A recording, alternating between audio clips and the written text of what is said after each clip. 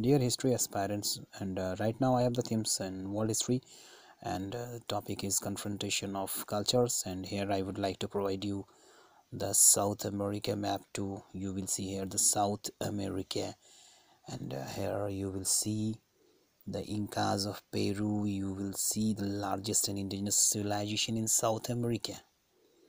For the understanding of the incas of peru you will have give you will have to see the South American map and world map then you will see the here you will see the Brazil and North Atlantic Ocean South Pacific Ocean Rio de Janeiro and uh, South Atlantic Ocean.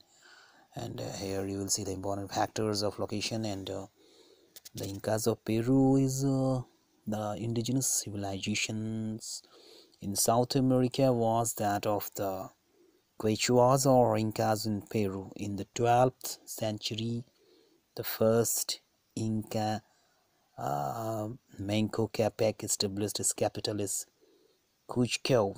Expansion began under the ninth Inca and its maximum extent. The Inca Empire stretched 3,000 miles from Ecuador to Chile. Ecuador to Chile here you will see Ecuador Peru you will see here. And uh, the emperor was highly centralized with the king representing the highest source of authority.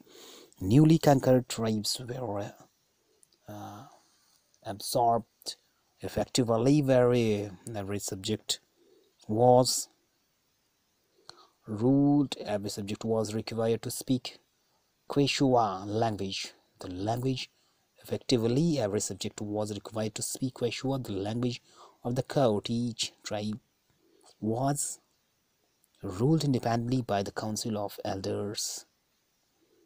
But the tribe as a whole owned, owed its allegiance to the ruler.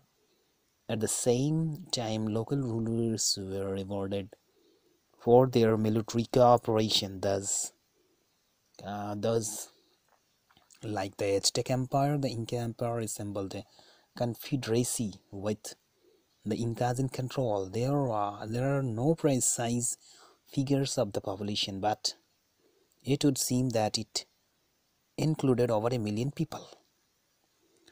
Uh, like the Aztec, the Incas too were magnificent builders. They built roads through mountain in Ecuador to Chile. So we have the lots of information. Uh, we have I have uh, I have given you this few and we will meet in the next sessions with a lot of lot more. Till then thank you and you have the question you ask in the comments